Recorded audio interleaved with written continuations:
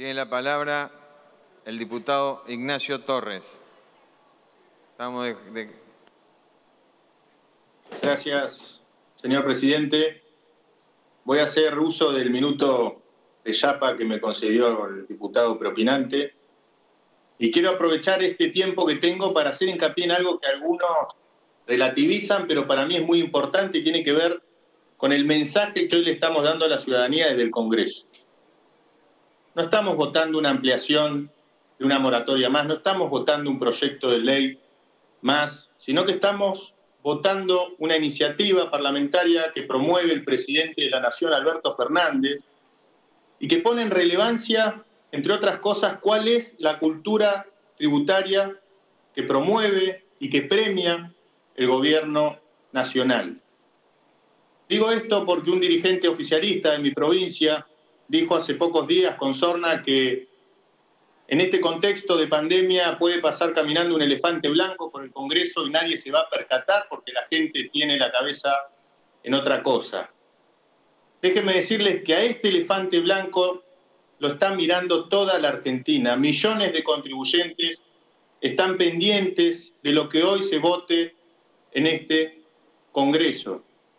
Le estamos hablando a esos laburantes que se levantan temprano y tienen que trabajar de lunes a jueves solamente para pagar impuestos, a esas micro, pequeñas, medianas y grandes empresas que haciendo las cosas bien no pueden trabajar a su máxima capacidad instalada por la presión fiscal que tienen de una matriz esencialmente regresiva que apunta al trabajo, a la producción y que atenta contra el desarrollo de nuestro país. Y que muchos dudan hoy de si en la Argentina se puede crecer haciendo las cosas bien. A ellos les estamos hablando. Y lamentablemente, la respuesta del presidente de la Nación con este proyecto es que la cultura tributaria que promueven es la de los vivos. Que los vivos a la corta o a la larga siempre terminan ganando en Argentina. Que quienes no pagan impuestos para apalancarse y comprar empresas funcionales a los gobiernos amigos terminan ganando en la Argentina. Eso es lo que no queremos más.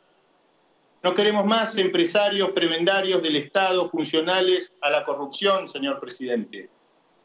No queremos más amigos del poder con privilegios. Y lo digo con dolor, porque yo vengo de una provincia, de la provincia de Chubut, que lamentablemente ha sido cantera de algunos de los actores de poder más corruptos de los últimos años de historia en la República Argentina. Y eso a los chubutenses nos avergüenza, nos indigna, y bajo ningún punto de vista vamos a permitir que nos pidan que nos acostumbremos a la corrupción. Tenemos que legislar para los que hacen las cosas bien. Tenemos que legislar para los que le están poniendo el pecho, premiar a los que están haciendo lo imposible para no bajar las persianas y sostener el laburo. Para eso tenemos que legislar, no para los vivos que se creen que por tener un gobernador amigo o un presidente amigo que les deba algún favor, tienen derecho a condonaciones extraordinarias o a una moratoria hecha a medida.